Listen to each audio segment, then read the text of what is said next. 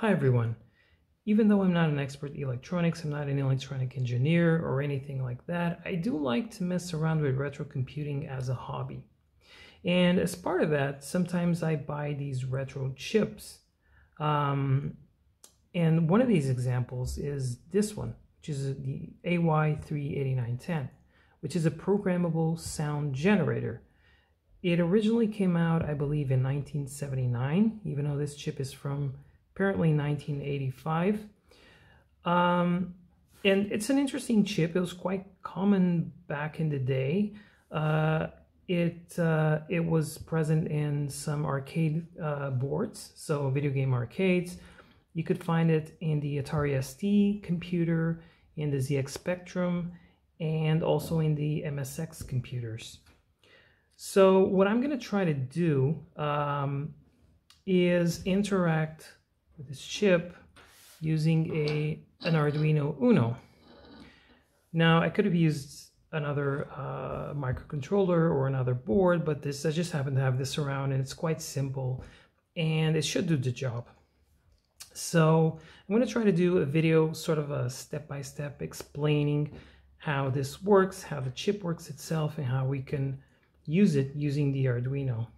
So yeah, let's start. I'm going to start by looking at the datasheet. So I've downloaded the datasheet for the AY38910.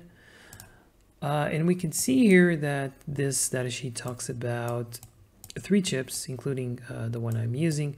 So these are actually just variants of each other and uh, they're quite quite the same uh, in terms of sound capabilities. There there's actually no difference.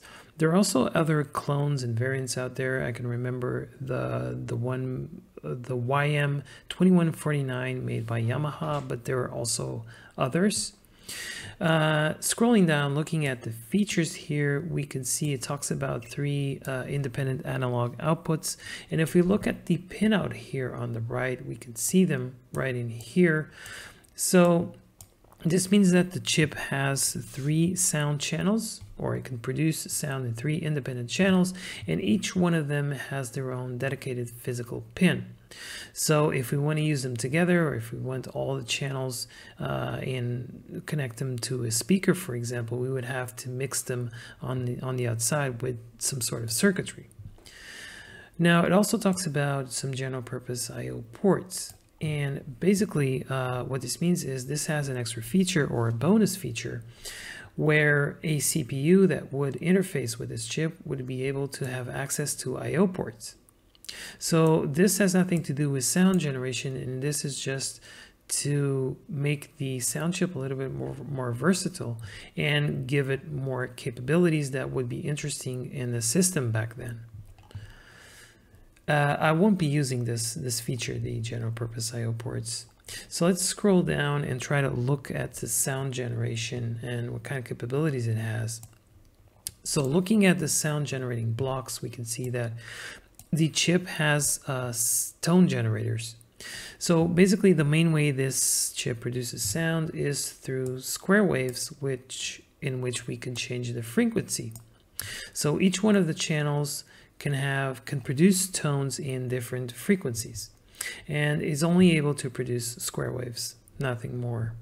There's also one, one noise generator, and this noise generator is basically a square wave um, with a pseudo-random pulse width, which means that basically it's producing just noise.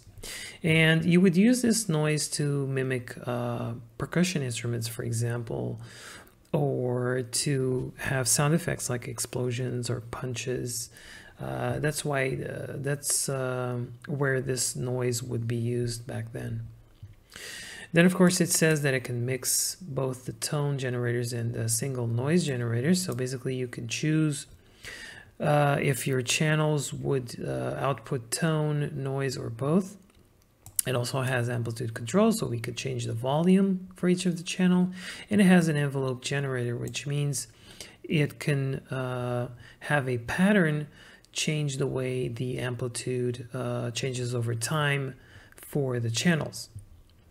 And then it talks about in the end that the signal is converted from digital to analog. So there's a digital to analog converter and it only has 16 levels, which means it's 4-bit sound. Now, in order for us to understand how we uh, actually control this, we go up a little bit, look at architecture, and we see that it talks about 16 memory mapped registers. So basically this chip has an internal state. And an internal state can be manipulated by changing the values of 16 registers. So these 16 registers are basically 16 bytes uh, of memory inside the chip. And by changing the values, we're actually changing the way the sound is produced, or we're changing certain variables in those generators and controllers that I mentioned. So to better understand this, scrolling down, we find this block diagram, which is actually quite useful. So this shows us uh, functional blocks of the chip and the way they connect to pins. We can see here on top and other pins here on the bottom. And we can have a look here at this table, which mentions the registers.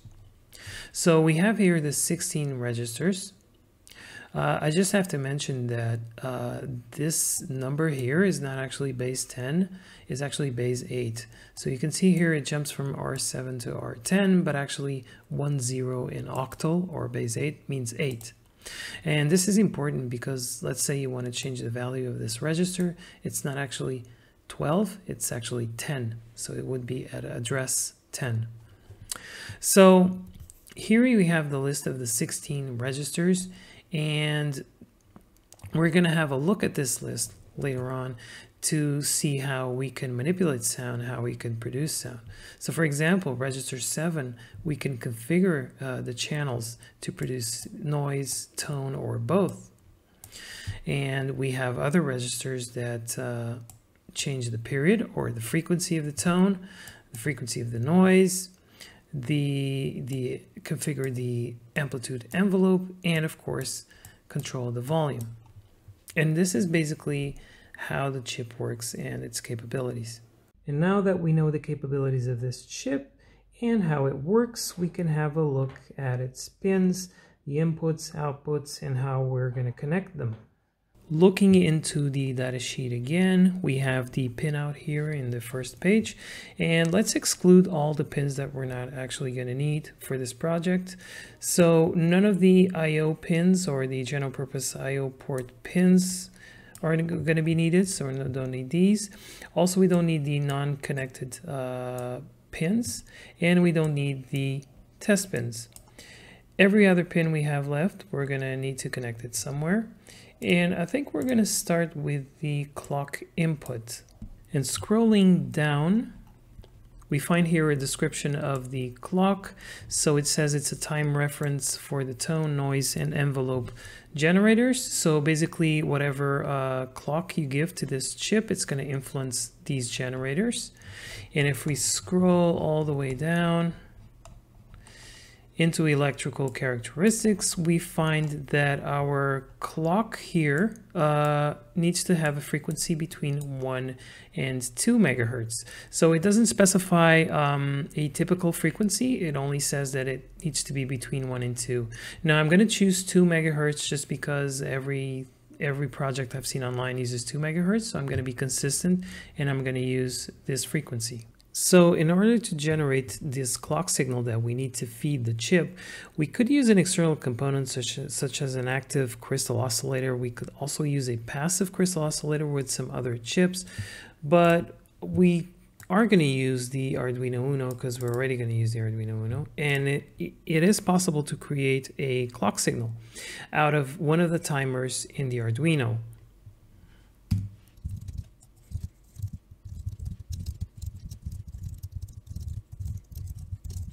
So what I've done here is I've set some registers in the Arduino and this will activate timer 1, set it into a mode uh, that will output a signal into pin 9 and also disable the prescaler.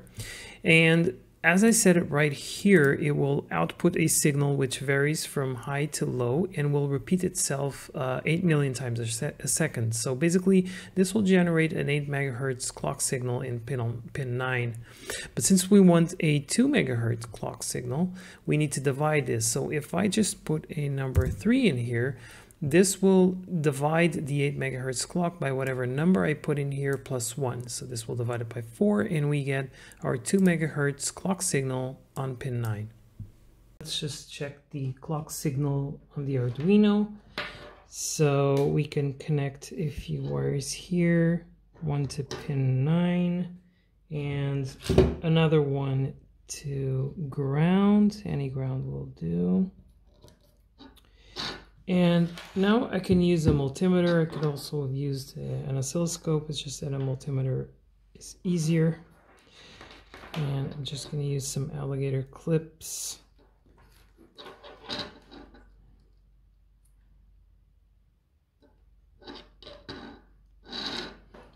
Now let me power the Arduino. Right and set this to frequency. And there you go 2 megahertz. Let's now look at the other pins. So aside from the clock we have all these other pins that we need to check out. Uh, one of them is the reset. So the reset pin um, obviously resets the internal state of the chip. Now we don't exactly need to use this but I am going to use it anyway, and I'm going to reset the chip uh, every time we initialize the Arduino. Then, after the reset, we have two different types of pins.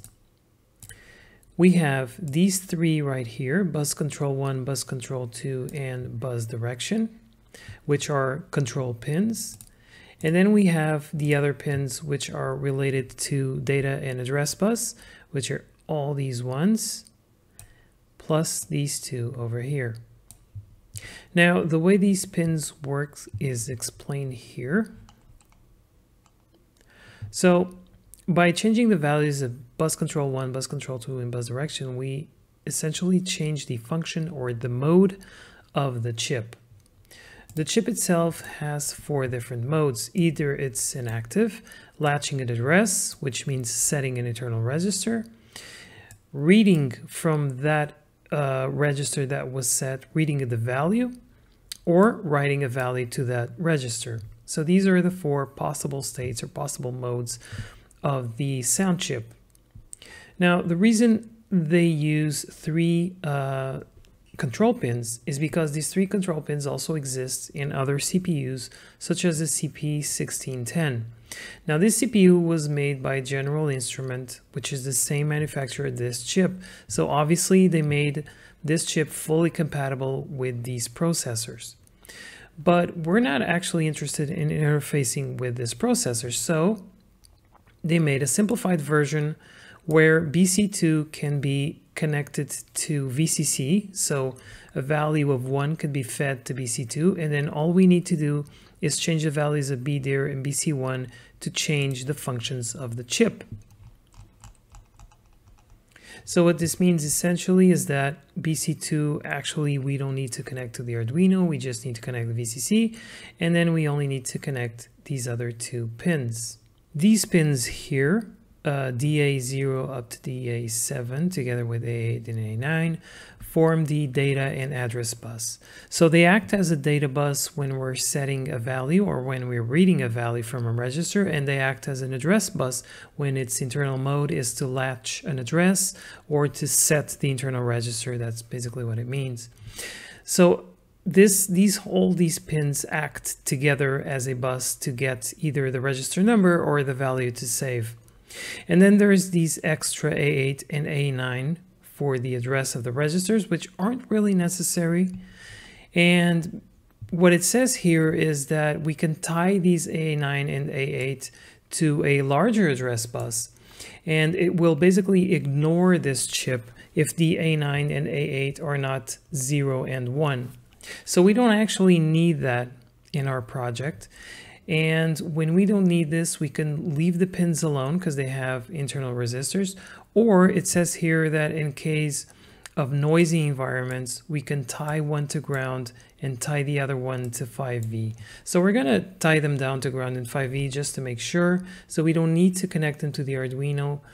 Um, and we're just gonna connect all of these here. Let's pick our pins in the Arduino. So we have here the Arduino pinout right next to our chip pinout. So to connect reset, I'm gonna connect it here to pin 8. Uh, pin 9 is occupied with the clock and we've already seen that some pins have specific functions in the Arduino so it's always uh, a good thing to check uh, if we're going to use any of the special functions in the Arduino. In this case, uh, in the future, I'm going to use the SPI protocol. So I'm not going to use any of these pins here, but I can use all others. So for the data and address bus, 0 to 7. I'm going to use them all together. And I'm going to use all these pins here because together these form a port and I can manipulate them all at once. Now I'm using pin, pin 0 and 1 which are used for serial communication. But I'm not going to use serial communication in this project, so it's fine. If you want to use serial communication, then avoid using these pins here. And now all I'm missing is BDIR and BC1. And I'm going to use A4 and A5 for that. So we are going to make the connections between the Arduino and the AY38910. So yeah, the first thing we have to do, uh, or the, well, we actually can do this in any order, but I think the logical thing to do first is connect the ground here goes the ground, minus the minus, and the VCC, and we're going to use 5 volts. Now use the 3.3, use the 5 volts, because this is the 5 volt chip. Uh, we can put that to plus in here. Now, it's also a good idea to power both rails, just because we might need both rails, and I think we are going to need both rails, so we're going to just hook up plus or plus. And minus with minus right here. Now, I'm sorry for the colors. Of course, this is going to work anyways, but uh, just don't forget plus with plus and minus with minus. Don't get that confused. You'll probably create a short, which is not good. Okay, so now we can hook up the chip to power. And this pin right here goes to VCC. So VCC. All right, hook it up right there. A little bit ugly, but who cares? And this one right here, the first one, the one, pin one, goes to ground. All right. Okay, so we can now start hooking up everything else. So we know that our clock input is pin 9, pin 9. And we know that our clock input is this pin right here, one before the last. Um, then the one above, we know it's the reset pin. Now the reset um, has a pull-up resistor, like I said before, an internal pull-up, so we could just leave it unconnected, but we want to control it, we want to reset it, so we're going to do it. But it's completely optional. Um, so, yeah, right. Now we have the A9 and the A8 pins, and for the A9, we're going to have to connect it to ground. Here we go. And the A8 is going to be connected to VCC. Let's not get that wrong. All right, it's a bit harder to do when you have the, the camera in front of you. Um, then we have a pin which we don't want to use, which is a test pin. That's fine. And then we have B there. Now BDIR, we said it was going to be a 4. That's fine, so 4 it is. All right. And then we have BC2, which we saw we can always leave it high. So we're going to connect it to high. All right. Here we go you're gonna work. And now we have BC1, which we wanted to connect to A5. So A5 goes to BC1. Here we go. All right, then after that, we have our data or data lines, data slash address lines. We have seven of them. It starts in DA7, goes all the way up to DA0, and we here have in the Arduino the pins 7 to 0. So that's why I've uh, oriented the Arduino like this, because it's easier, 7 to 7, 6 to 6, etc. until I get to 0.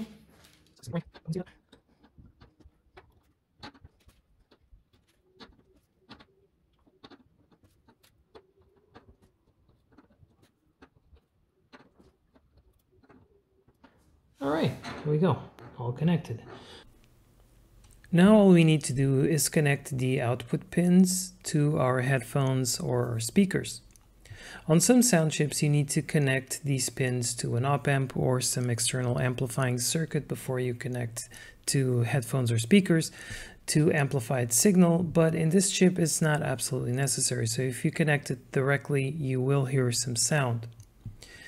Uh, however, I am going to use some circuitry with resistors and capacitors to filter a little bit of sound as it sounds a little bit better, I think. Let's look at that circuit. So I'm going to use some resistors and some capacitors that are going to help me filter the sound a little bit before I connect it to my speakers. Here I'm going to use a breakboard which has a 3.5 millimeter jack socket which makes it easier for me to use a 3.5 millimeter jack to connect uh, anything I want to my sound chip. So the way jacks work is they have several segments. So if you ever looked at the 3.5 millimeter jack, they have several segments. So when we're looking at audio, uh, the tip will be the audio signal and then the rest of it will be ground. And when we have stereo audio, which is actually the most common type, you'll have a tip, a ring, and a sleeve, which corresponds to the left side, the right side audio, and then ground. And then you can have four segments when you have, for example, a microphone, but also when you have uh, a 3.5 millimeter jack that carries video, for example, you can have four segments. So in our case, we're basically going to interact with either a two or a three segment if we have some stereo speakers, which we usually do. So ring two is not going to do us any good. It's going to be the same as sleeve in this case. So tip is going to be left and ring one is going to be right. If we connect it like this, we will only have sound from the left side. If we make the same exact connection to tip and ring one, we'll have basically the same audio coming out of the left and the right side for the circuit what I'm going to use, so I saw this online and I tested it and it works out, so I'm going to use it. I'm going to use uh, three 10k ohm uh, resistors. So 10,000 ohm. See, now here's one A, together. All right, and B. Right, together. So the three of them are connected together. And I'm going to use a pull down resistor. In this case, a 3.3k ohm, so 3300 ohm resistor. And I'm going to pull it down, so I'm going to connect it to ground. There you go. Now, I'm going to use, stick it right here in the middle. I'm going to use the resulting signal. And I'm going to hook it up to a capacitor. So this is a 10 nanofarad capacitor. It says 103 in there. I don't know if that's visible, but this is a ceramic capacitor and we're going to connect to the signal and to ground. It's a tiny, tiny capacitor. All right. And then to connect our signal to either the tip or one of the rings, I'm going to use an electrolytic, electrolytic capacitor. So this is a 10 microfarad uh, electrolytic capacitor. Now remember that these capacitors are actually polar, which means that sides are different. There's a longer leg and there's a shorter leg, and the shorter leg has a minus in it. So we want the minus, the short leg, on the output here. And the other leg is going to hook it up here into the signal. And now all we need to do is connect the sleeve to ground. And we're going to connect it on this side so that we have room to connect the jack in here. And there we go. Yeah, there it is. We can now continue with our Arduino code. So what I'm going to do here first is set some constants with the pins we chose.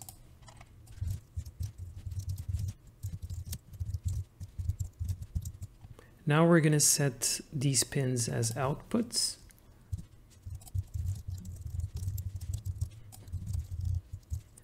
And now we're also going to set uh, all the pins from 0 to 7 as outputs. And this I can do all at once because they're part of the same port, port D.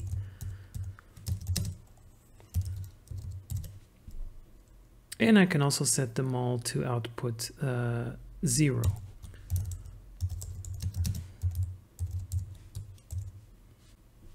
And since we have the reset pin, we can reset the chip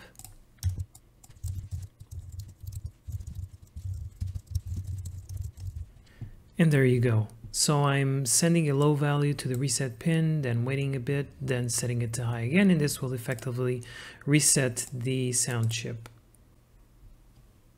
And we're ready to set the values of the registers in the sound chip. So let's understand a little bit better how we're going to do that.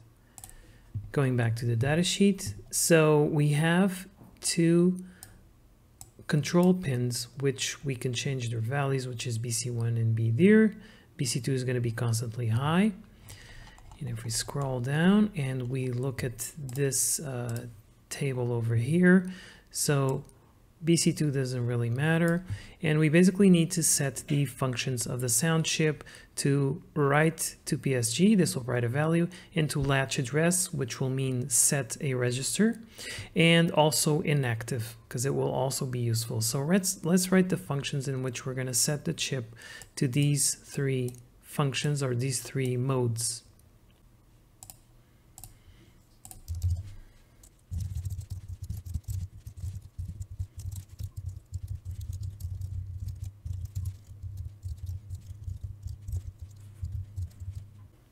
Now that we have the functions to change the function or the mode of the chip, we can actually write our function that sets a value to a register.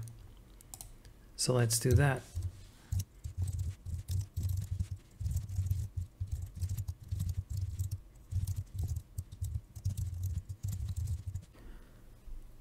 Now, by combining our functions that we wrote before, we're able to write a value to a register. So by manipulating the control pins, we're able to set the sound chip to mode latch, and that means that whatever is in the address bus will be the register, the active register to which we can write values or read values from. So we set it to mode to mode latch and then we set the register, eh, we put it into the data or address bus.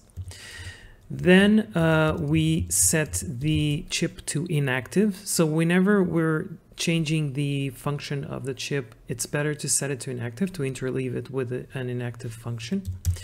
Then we set it to write. So now he's going to write to whatever register we set before that is latched. And we're going to put the value into the data or the address bus. And then we're going to set it to inactive to finish so that whenever we're, we're finished with the, the chip, we better set it to inactive so that nothing happens and no value is saved by accident into it.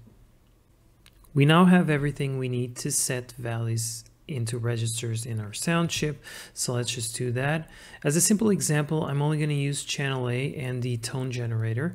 So let's see what kind of registers we need to change. Looking at our data sheet, of course, we can scroll down and looking at this table, we can see that we need to change the values uh, for register 7 and for R10, which is actually register 8. So register 7 uh, is going to be useful to for us to enable channel A with the tone generator and disable everything else. So because it's written like this, this means that it's active low. So I'm going to need to set A to 0. So this first bit is going to be 0, then these are going to be 1, and these also going to be 1 since I'm not going to use noise, and then these don't really matter because it's general purpose I.O. ports and I'm not going to use. Then I'm going to set the volume of channel A to its maximum. So register 8 is actually going to have 1 in all these bits, which is the maximum volume, uh, level 15. And M is going to be 0 because I want to use this volume and I don't want to use the envelope.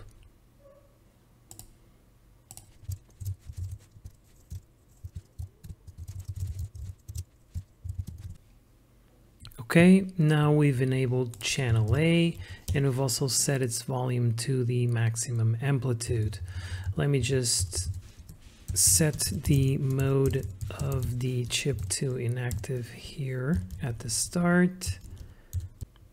And also let me just do a correction here. It's not dir, but pin.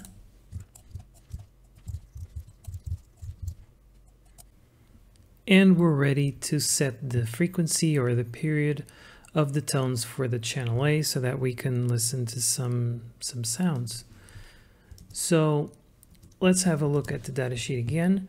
So what we need to do now is set the values for register 0 and register 1 because they're going to uh, set channel A's period. So the way this works is that register 0 has 8-bit fine tune and register 1 has a 4-bit coarse tune.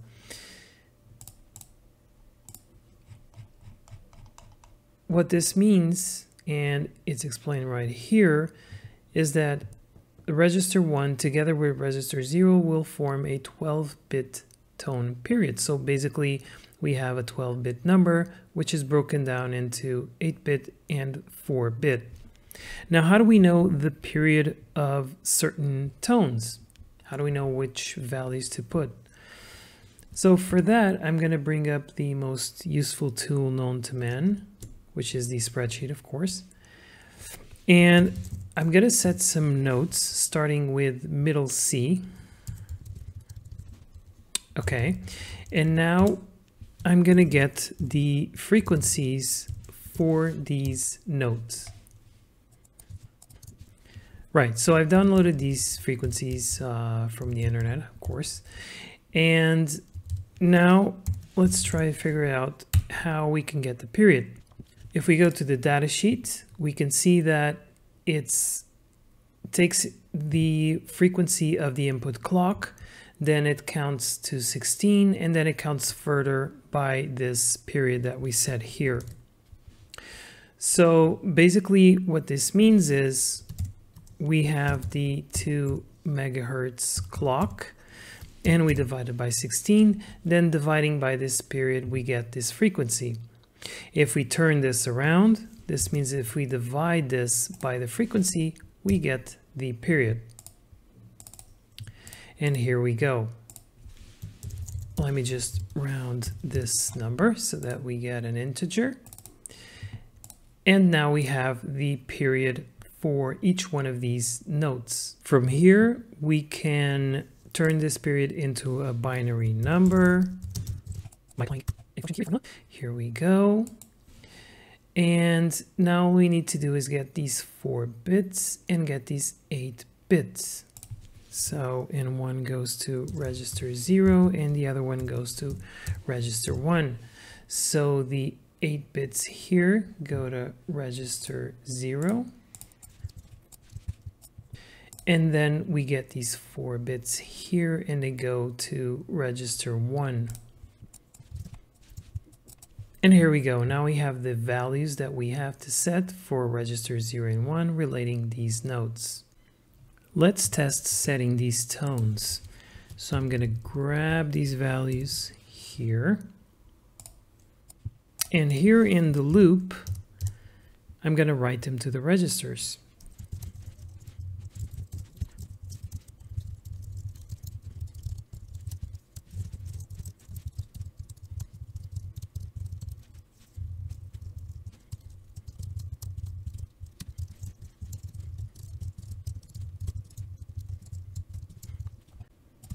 And here we are changing the value of the tone period for channel A. I've added a half a second delay every time I change the value, so we should hear a different tone every half a second. I have just programmed the Arduino. Let me just connect uh, some externally powered speakers I have here. And let's power it up and see what happens.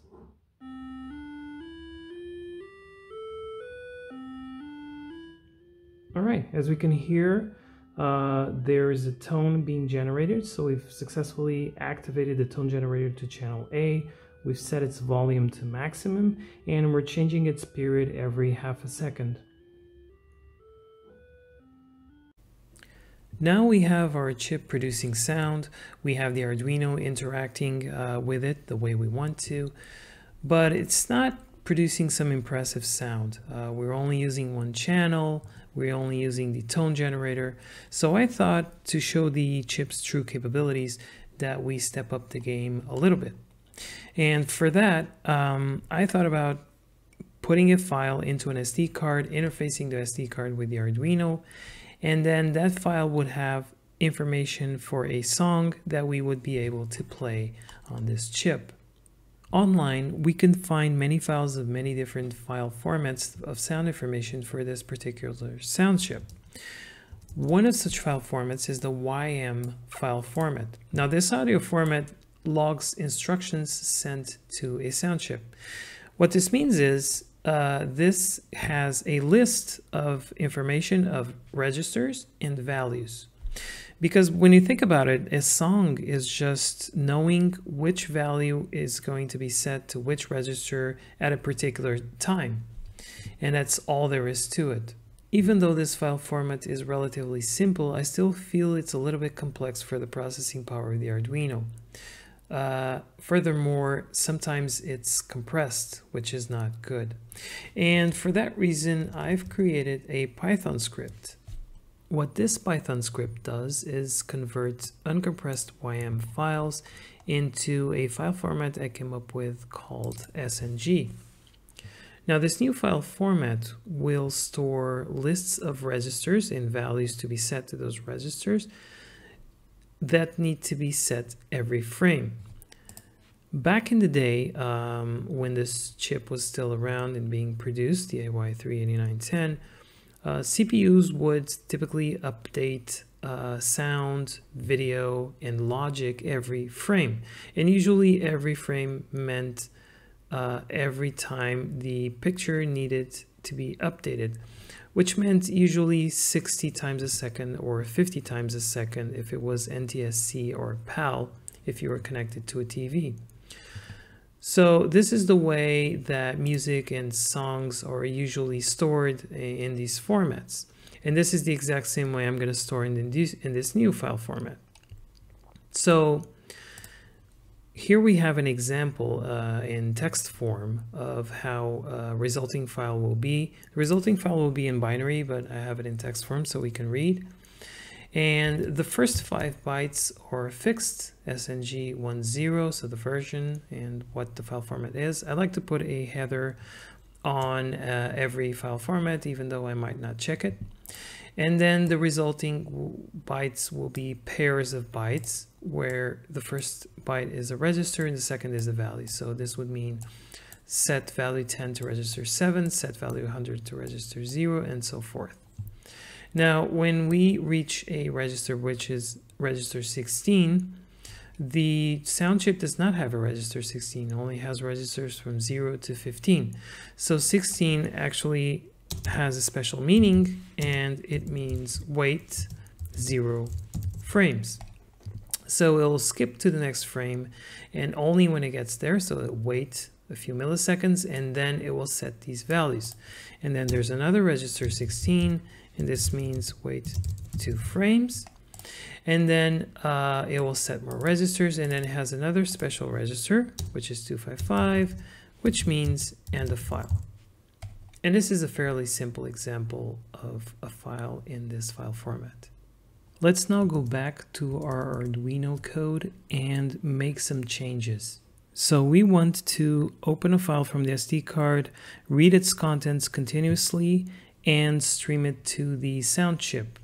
So the first thing we can do is include the SD card library. We're going to need to choose a pin to be the SD card select pin. So I'm going to write uh, a constant here. Uh, and I'm going to choose uh, pin 10. Now we can uh, actually initialize the SD card uh, interface. And we can clear just everything we're not going to need. So we're not going to need to write any specific values to any specific registers. We'll let the song do that. So I'm going to clear everything here. And we can start writing our code to open the file and read it. So here in the loop function, I'm just gonna open uh, a file and I'm just going to keep reading it continuously and when the file uh, ends I'm going to open it again.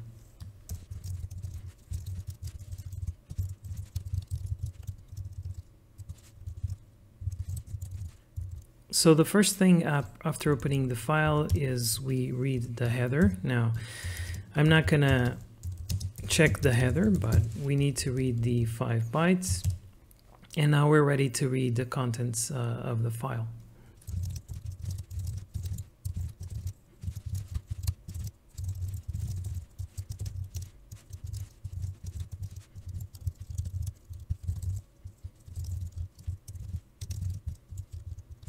Okay, and here we have the uh, the code that will continuously read the contents of the file, so the pairs register value. And if the register is less than 16, then it's going to write to the sound chip. If the register is register 16, then it's going to put a delay of 20 milliseconds times whatever value it is. And now the only thing left to do is put a file into the SD card. So I need a file uh, with this name because this is the only file the this program is going to read. So let me go to my YM uh, file converter and just convert uh, one file that I got online. Here we go. It's a song from the game 1943 by Jason Brooke, I believe. And now just copy the output to my SD card. I'm going to use an SD card module that I have here, which is FiFi compatible, so it's compatible with the Arduino Uno.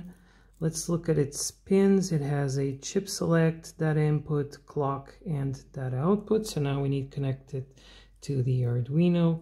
So the chip select is going to go to pin 10. This is the pin we chose as being the slave select or chip select. The data input is going to be connected into the MOSI pin, which is pin 11, which is uh, master out slave in, and we need to connect to pin 12 the data output, which is master in slave out. And then we need the clock, which goes to pin 13, that's the SPI clock. And now we need to connect the ground and VCC. Okay, so I already have the SD card in here. Let's check it out and power the Arduino.